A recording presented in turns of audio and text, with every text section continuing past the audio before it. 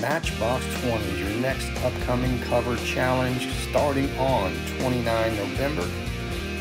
Brought to you by KM Kan Drum Channel and Rich Dawg Drums Channel. We hope you all participate and support. Matchbox 20 is a rock band formed in Orlando, Florida in 1995. Their first album came out in 96, and they have an extensive catalog of music since then.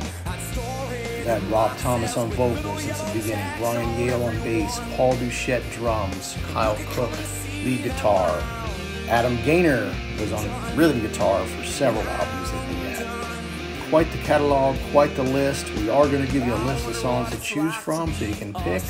It's going to be great, so please stay tuned to both of our channels for more to come.